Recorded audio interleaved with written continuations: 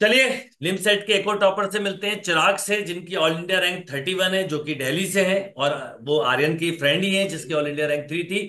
तो चिराग सबसे पहले तो all India rank thirty one के लिए ढेर सारी शुभकामनाएँ। थैंक यू सर तो चिराग के बारे में बता दूँ चिराग ने भी दिल्ली यूनिवर्सिटी से ग्रेजुएशन करा है कंप्लीट फाइनल ईयर में थे और फाइनल अपेयरिंग के साथ इतनी अच्छी रैंक अचीव की। चिराग आपकी जो सक्सेस जर्नी है इंटायर वो आप ज़रूर बताएँ क्योंकि कई बच्चे ये जानना चाहते हैं और सबसे पहले आप स्कोर बता दीजिए।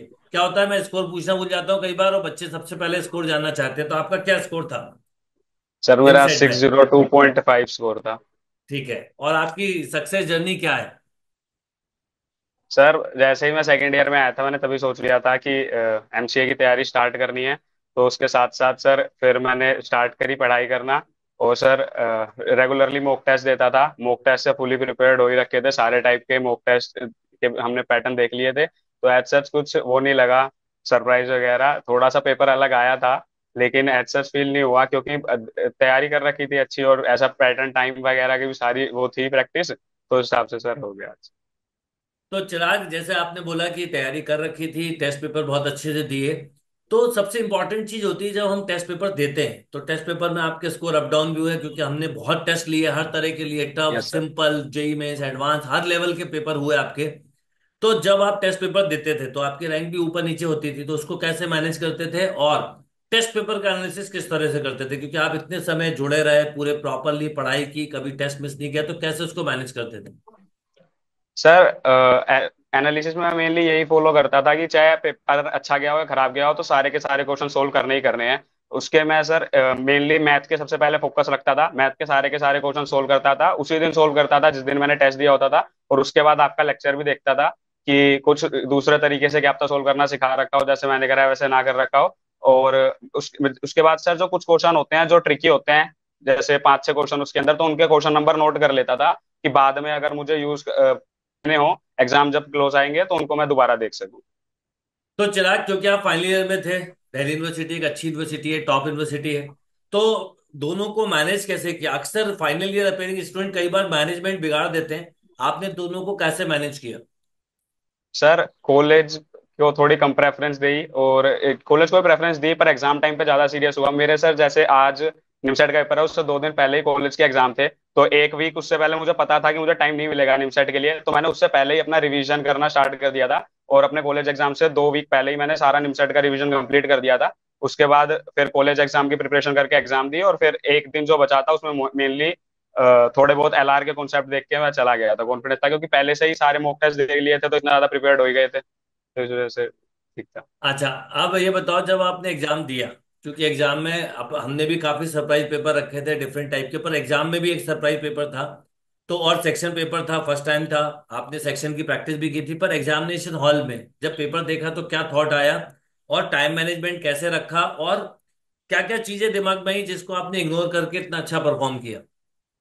सर, सबसे पहले तो सेक्शनल पेपर से ज़्यादा दिक्कत नहीं हुई क्योंकि मॉक टेस्ट इतने दे लिए थे तो सेक्शनल पेपर का तो कुछ कॉन्सेप्ट था ही नहीं दिमाग में क्योंकि सेम मॉक टेस्ट में उतना टाइम मिलता था, उतना इसमें मिलता था। तो सेक्शनल पेपर में तो कोई दिक्कत नहीं थी। लेकिन पेपर जब आया तब ये था माइंडसेट कि सबसे पहले जैसे आप बोलते थे कि इजीएस्ट क्वेश्चन फाइंड आउट करने हैं, पहले बीस मिनट में बीस क्वेश्चन आप कहते थे तो उसी तरीके से मेरा ये था कि जो भी मुझे मुश्किल मिलेंगे, जो भी हल लगेगा कि दो मिनट मिलेंगे उससे मैं छोड़ दूँगा। तो मैंने वही फॉलो किया और जल्दी जल्दी सारे इजिएस्ट ढूंढ के उनको करने पे फोकस किया था।